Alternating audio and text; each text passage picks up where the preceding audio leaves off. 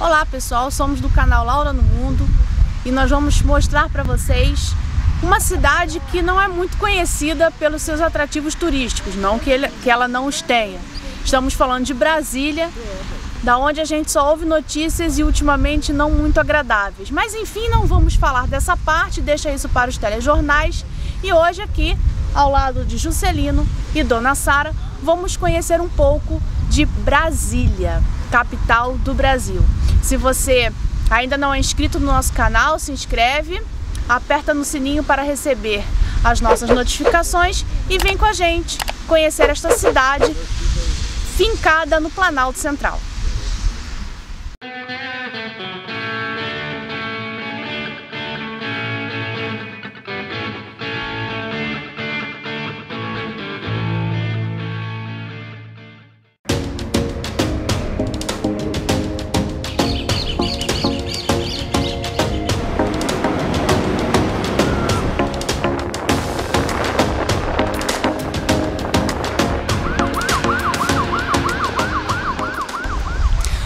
Começar nossa visita a Brasília pelo memorial daquele que foi o, o, o grande é, idealizador e, e, que fez acontecer essa cidade. Né? Estamos então falando do presidente Juscelino Kubitschek e aqui esse monumento, né, esse memorial construído pelo Oscar Niemeyer, é, que abriga a, o acervo né, do presidente Juscelino, é um lugar, assim como toda a cidade, né, com que é uma grande obra de arte e tem é, obras do Atos Bulcão, que também está presente em várias partes da cidade, né? o próprio prédio feito, é, o, projetado pelo Oscar Niemeyer. Então é um ponto de partida interessante para você fazer é, a sua visita a Brasília.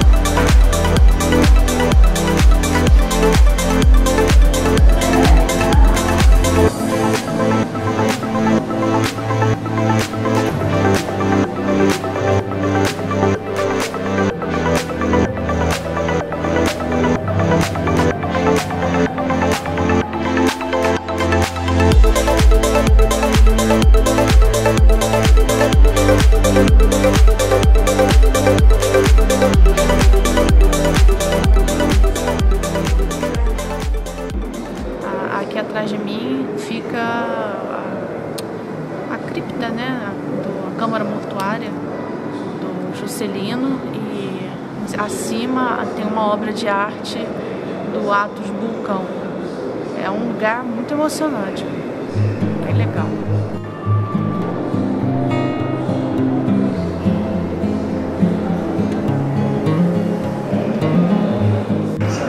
Nós estamos no escritório da dona Sara, é, de onde ela fazia né, toda a administração aqui do memorial, que é da família.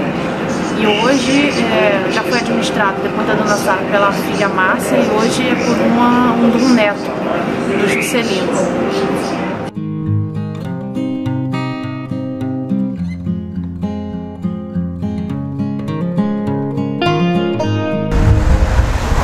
acabou de sair do Memorial JK, que está aqui atrás de, de, mim. É uma experiência assim emocionante, sobretudo no contexto que a gente está vivendo, né? É, não se trata de concordar ou discordar do JK, né? Mas de reconhecer naquela figura política um projeto de país, né? O cara tinha um projeto para esse país e não era um projeto pequeno, né? E, a meu ver, isso, se, isso tem um contraste muito grande com o que a gente está vivendo hoje, né? É, enfim, um certo vazio programático, um certo vazio de ideias, né? É, a gente está se perdendo no lamaçal de bobagens, né? De vazio de ideias, de, de nada, né? Então é, é ao mesmo tempo assim, é alegre, é controverso, alegre, triste você se deparar com um projeto de país que está ali dentro, né, um pouquinho, está ali contido, né, naquele, naquela, naquela, naquele monumento. A ideia de mudar a capital do Brasil, do Rio de Janeiro, para o centro do país, não foi uma ideia que surgiu na cabeça do Juscelino. Ela já era uma ideia ventilada no período é, do Brasil Império. José Bonifácio já teve essa ideia por vários motivos. Entre eles, né, a, justamente é, a interiorização do país, ter um domínio maior sobre o território. Outro era que a capital deveria estar mais protegida, né, porque o Rio de Janeiro é litoral, a cidade foi atacada diversas vezes. Mas enfim, naquele período né, não foi possível fazer. Então o Juscelino vai, vai fazer isso no seu governo e em 1960 a capital brasileira, a nova capital brasileira, é inaugurada aqui no meio né, desse Brasilzão gigante.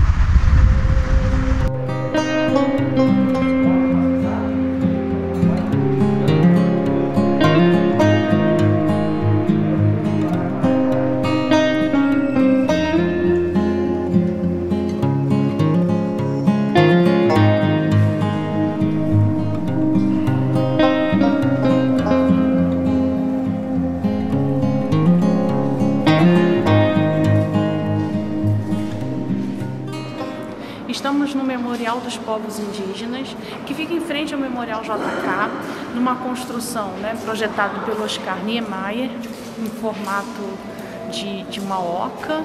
É, parte do acervo tem origem né, na, nas pesquisas de antropólogos como Darcy Ribeiro, Berta Ribeiro, mas também uma boa parte do acervo é fruto da operação da Polícia Federal Pindorama, uma operação que, que resgatou objetos é, indígenas que estavam sendo traficados. Então ficou muito tempo guardado é, esse material e para não ser destruído ele veio para cá. É, a visitação é gratuita e, enfim, você precisa também conhecer esse espaço.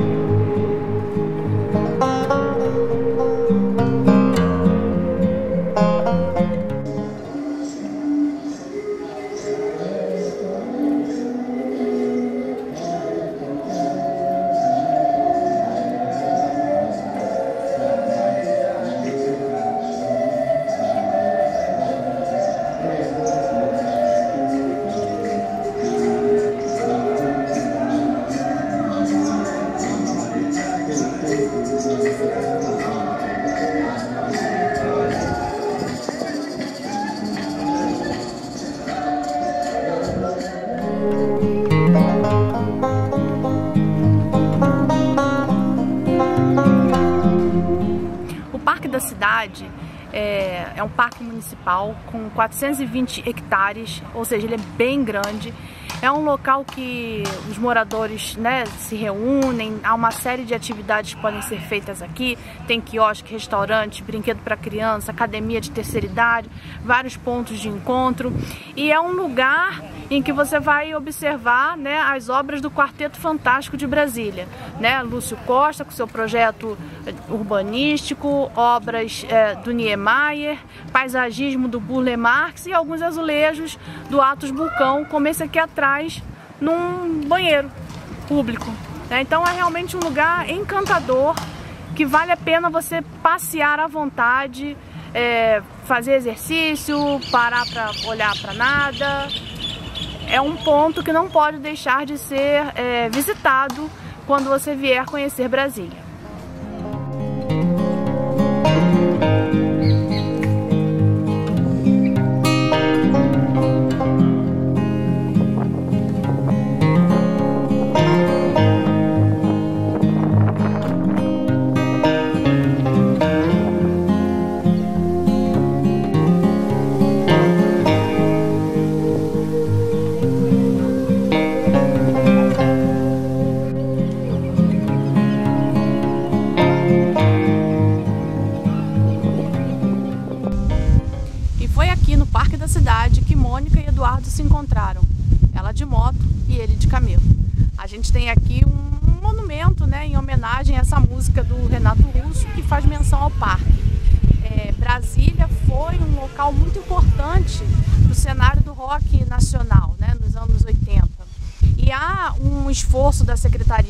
De, Cultura do Distrito Federal de marcar os locais é, em que as bandas se encontravam, em que personalidades, né, que músicos é, moraram, trabalharam.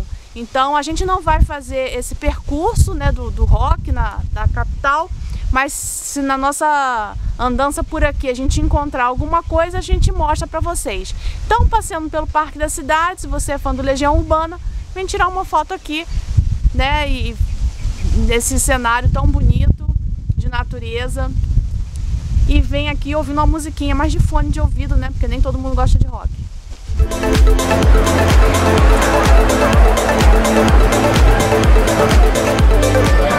Estamos na feirinha da Torre de TV. É, é uma feira de artesanato que começou nos anos 1960, mais precisamente 1964, como uma feira hippie. Então aqui se reuniam cerca de 16 pessoas vendendo lá seu, artesanato.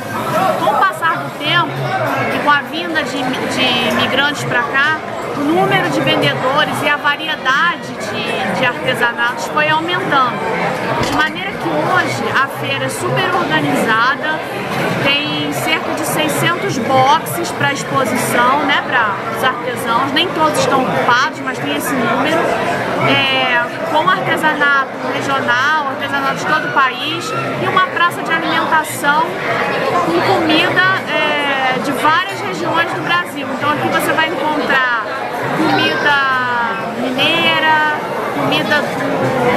aqui, né, Goiás, Amazonas, e tem até uma comida chinesa, né? Por que não, se Brasília é uma capital cheio de, de embaixadas, sobrou espaço aqui uma comida chinesa.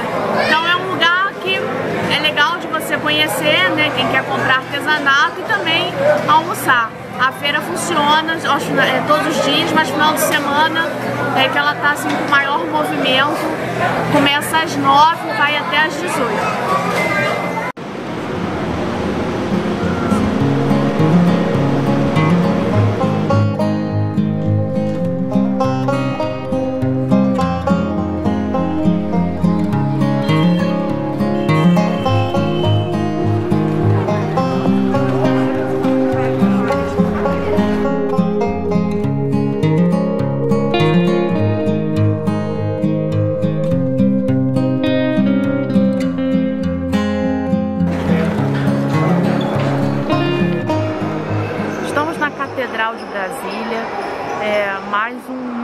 Monumento dessa cidade que também é um monumento, né? Uma cidade monumental.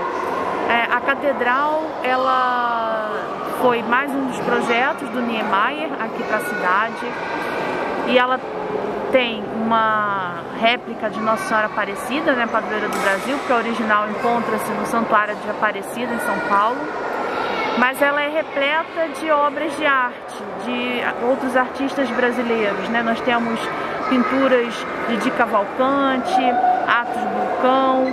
À frente temos uma, quatro esculturas dos evangelistas de um outro artista, este não era nacional. Enfim, é, é, um lugar que, como a gente sempre fala aqui no nosso canal, mesmo que você não seja religioso, as igrejas são lugares muito importantes para a gente entrar e conhecer um pouco sobre a história do local em que ela está.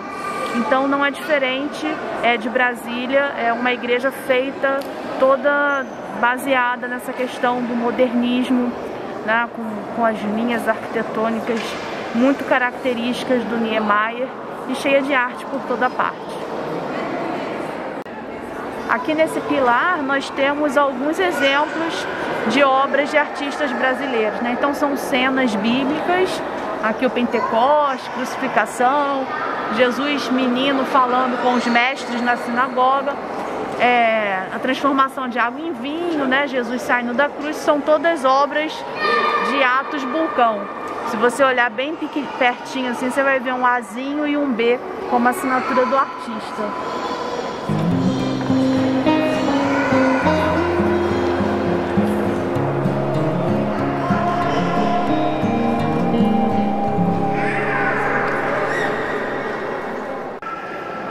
Aqui atrás tem a cruz que foi utilizada na primeira missa de Brasília.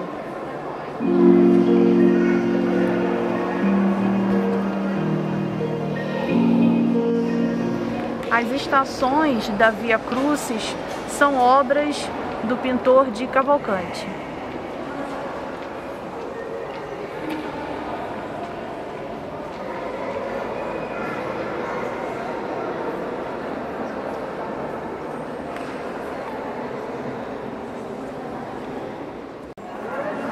Os vitrais da catedral foram é, feitos por Mariane Peretti, única mulher na equipe de Niemeyer e Lúcio Costa. Ela também foi responsável por, pelos vitrais de outros prédios aqui da capital. Eu acho que a coisa mais bonita dessa igreja são os vitrais.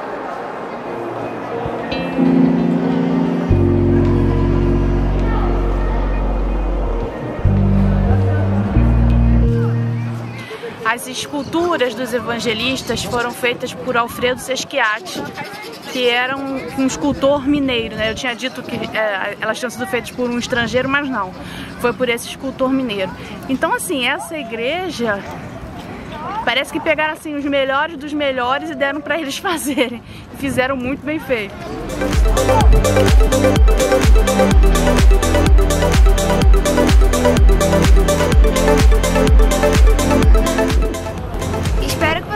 Gostado do vídeo, deixe seu like, se inscreva no canal se você ainda não for inscrito, clica no sininho para receber todas as notificações de novos vídeos e até o próximo vídeo. Tchau, tchau!